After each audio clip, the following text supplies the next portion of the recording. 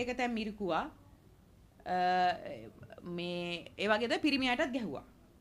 පිරිමි අය තමයි මේ ඔක්කොම මේ පහර දීම් සිද්ධ කරේ. අපි ඔක්කොම ඊයේ කට උත්තරේ සඳහන් වෙනවා. අපි ඇහුවා අපි වෙයි අත්අඩංගුවට ගන්න කියලා. මොකද අපි කිසිම නීතිමය අපි නීතිමය වශයෙන් වැරදි දෙයක් එතන කරලා තිබ්බේ නැහැ.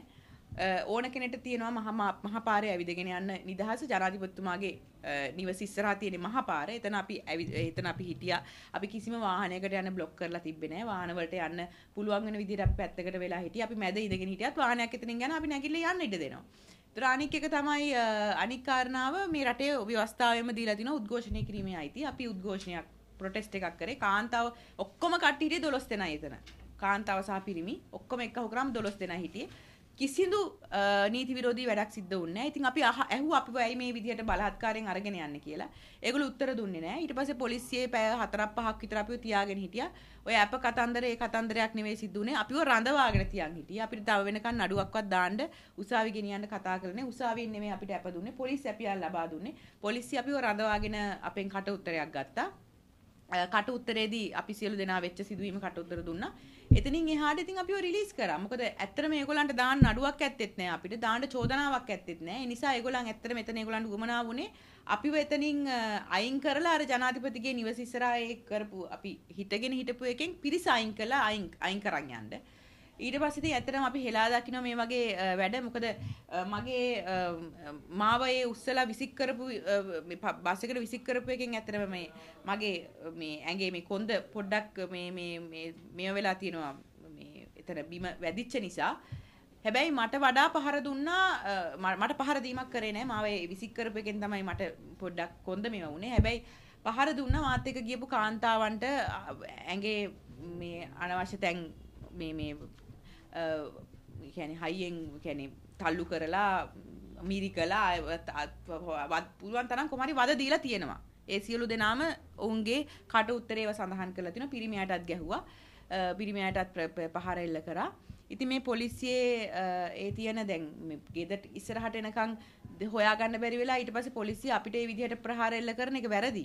කියන්නේ පොලිසිය පළවෙනි මුල ඉඳන්ම හරිනම් ආරක්ෂාව සපයනවා නම් ඒ දේවල් මුල ඉඳන් ජනාධිපතිතුමාගේ ඔය විශේෂයෙන් ඔය ඉන්ට් එකේ ඉන්න ඔය ප්‍රධාන පොලිසිය කට්ටියව බලා ගන්න ඕනේ.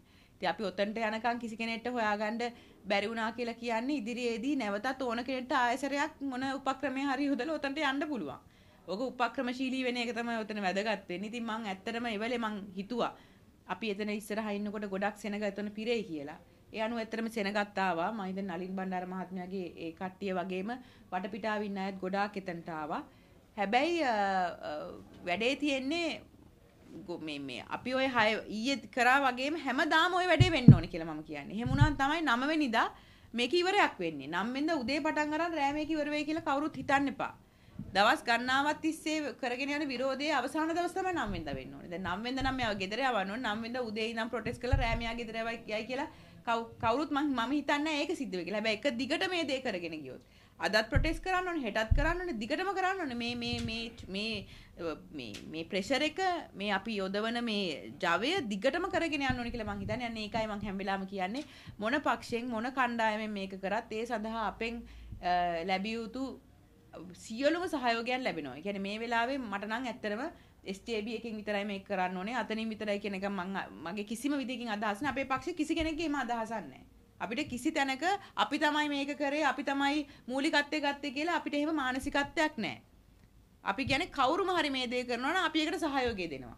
අපි ඒකට මැදිහත් වෙනවා. මොකද ඇත්තම ඒක නෙවෙයිද වෙන්න ඕනේ. දැන් සමහරක් ගාට සමහර පක්ෂ වලට අපිට මේගොල්ලන් එක්ක එක්කව වෙන්න අපිට මේගොල්ලන් එක්ක එක්කව වෙන්න බෑ කියලා කියන්න පුළුවන්. ඒ මොන දේ කරන්නත්. ඒ ආණ්ඩු හදන්න කලින් මුලින් මේ පුද්ගලයා අයින් කරලා ඉන්න බෑ. මේ පුද්ගලයා අයින් කරාට පස්සේ තමයි ඊළඟට සර්වපාක්ෂික ආණ්ඩුවකට යනකොට එන්නේ ඒගොල්ලන්ට උතර තීරණය කරන්න පුළුවන් පැත්තකට වෙලා උදව් කරනවාද මේකට එක්කව වෙලා උදව් කරනවාද ඒ සියලු දේවල්.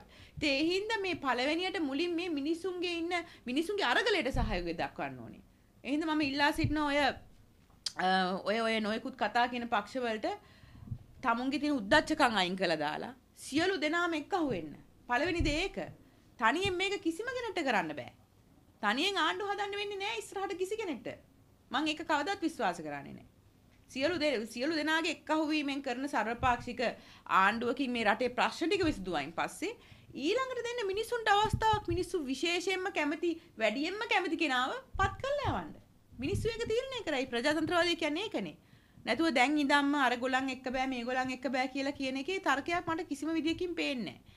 ඉතින් ඒ නිසා මේ කවුරුත් හිතන්න එපා මේ වෙලාවේ කිසිම කෙනෙක් ශක්තිමත් කියලා. මහා පොළොවට ගිහිල්ලා දැන් ඡන්දයක් තිබ්බොත් තවමත් පොදු ජන පෙරමුණට ඡන්ද තියෙනවා. මං කියන්නේ තිස්සර තරම් නැති වුණත් යම් තාක් දුරකට ඇති. අපිටත් ඇති JVP එකටත් ඇති පොදු ජන පෙරමුණ 100% පොදු ජන පෙරමුණේ තියෙන ඡන්ද ටික නැති වෙලා නේ. ඒකනේ තවමත් පෝලිං වල දුක් විඳිනවා වගේම කිසි ප්‍රශ්නයක් පෝලිං වලට ගිහිලා කිසි ප්‍රශ්නයක් නැතුව ඉන්න මිනිස්සුත් ඉන්නවනේ තමයි අර පොදු ජන පෙරමුණට ඡන්ද දෙන කට්ටිය. ඉතින් ඒ හින්දා අපි මේක හරියට තේරුම් අරගෙන මම හිතනවා සියලු දෙනාම එක්ක වෙන මම අද විශේෂයෙන්ම මෙතනට ආරාධනා මම මෙතනට ආවේ කාන්තාව සියලු දෙනාටම මම ආරාධනා කරන්න. මම මගේ සබ්ජෙක්ට් එක කාන්තාවනේ. මම සියලු දෙනාටම එන්න කිනවා. පක්ෂපාත ભેදකින් තොරව එදා ජනාධිපතිගේ ගේ ඉස්සරහා ගේට්ටුව ඔය ගේට්ටුව පැන්න නම් කෙලින්ම ගේ තියෙන්නේ. එහෙනම් මම ඇත්තටම කණෙන් ඇදන් එනවා. මට ඒ වෙලේ යන්න අවස්ථාව ලැබුණා නම් මම ඔය ගේ හස්සක් මුල්ලක් නෑර දන්නවා. ජනාධිපතිවරු ඉන්නකොට අපි ඔය ගෙවල් ඇතුළට ගිහින් තියෙනවා. එතකොට ඔය ගේ ඇතුළට මට යන්න තනියෙන් හරි යන්න මට chance එක ලැබුණා නම් මං ගෝඨාභය රාජපක්ෂව මහා මේ මේ මේ ජනතාව ඉදිරියට මම අතින් හරි කනින් හරි අදන් එනවා. එහෙම chance එකක් මට තිබ්බනම්. ඒ වෙලේ ගේට්ටුව වහපු එකෙන් අපිට ඇත්තටම යන්න හම්බුන්නේ නැත්නම් අපිව දැක්ක ගමන් ගේට්ටුව වැහුවා. තව චුට්ටක් තප්පරයක් දෙකක් මම ඉක්මන් වුණා නම් සමහරට මට ඇතුළට යන්න තිබ්බා. සමහරට වෙඩි කණ්ඩක් තිබ්බා. ඒ කෙසේ වෙතත් මම රටේ ඉන්න සියලුම කාන්තාවන්ගෙන් ඉල්ලා සිටිනවා කොටුව ස්ටේෂන් එකට උදේ 10 වෙනකොට එන්න අපිට එදා ළඟටම යන්න පුළුවන් වුණා ඔය සිංහයා කියලා කියන මේ මොකද්ද? නරියගේ මේ මොකක්ද එකට කියන්නේ? නරයාගේ හැම පොර පොර පොරවන් ඉන්න සිංහයා. ලෝකෙ සිංහයාගේ නරියා. සිංහයාගේ හැම පොරවන් ඉන්න නරියා. ගේ ඉස්සරහට යන්න අපිට chance එක හම්බුණා. මාත් එක්ක එක්ක වුණොත් මම පොරොන්දු වෙන ඔය ගේටුත් කඩාගෙන ගේ ඇතුළටම යමු. ඒක කරලා පෙන්නන්නම් මම. සියලුම දෙනාට මම එන්න ආරාධනා කරනවා. මේක මම හැමදාම කියනනේ මේක කරන්න පුළුවන් කාන්තාන්ට විතරයි කියලා මොකද මේ මේක වැඩියෙන්ම gederin අම්මට තමයි මේ දුක දැනලා තියෙන්නේ මම කියන්නේ තාත්තට දැනෙන්නේ නැහැ කියලා. මම හැම වෙලාවෙම කියන්නේ තාත්තලා එන්න අපේ ආරක්ෂාවට. අම්මලා ටික බහින්න එළියට. කාන්තාවන්ට කරන්න බැරි දෙයක් නැහැ මම ඒක අත්දැකීමෙන් පහුගිය දවස් ටිකේම දැක්කා. කාන්තාව ගොඩක් එළියට බහිනකොට මේ ගොඩාක් ඔය ආරක්ෂකංශ බයයි. අපිට අත තියන්න එන්න. ඒ නිසා තාත්තලා එන්න අපේ ආරක්ෂාවට අම්මලා ටික එක්ක අහුවෙලා යමු කඩාගෙන අපිට විතරයි මේ මිනිස්සුව එළියට ඇදලා අරගෙන මේ අසරණ තත්ත්වයට පත් කරන්න පුළුවන් මේ දූරයෙන් අයින් වෙන්න කියලා. අපි කිසිම මේ අපේ අත්වල අත්වල ආයුධ මුකුත් නැහැ. මෙච්චර කාලයක් මම පහුගිය කාලේ කරපු එකක එකකදීවත් මම ආයුධයක් අතට අරන් ගියේ නෑනේ. හිතේ හයිය විතර අරන් ගියේ. එහෙනම් සියලු දෙනාට මම ආරාධනා කරනවා කරුණාකරලා මේ වැඩේ අතට අරගන්න එන්න. අපි 9 වෙනිදා අපේ හරියටම කියනවා එන්ඩ් ගේම් එක 9 වෙනිදා තියෙන්නේ. එදාට අපි මේක අවසන් කරලා දාලා රට නැවතත් යථා තත්ත්වයට පත් කරන්න පුළුවන් විදිහේ සර්වපාක්ෂික ආණ්ඩුවකට අපි මග හදාගමු කියලා. සිරු දෙනාටම බොහොම ස්තුතියි එහෙනම්.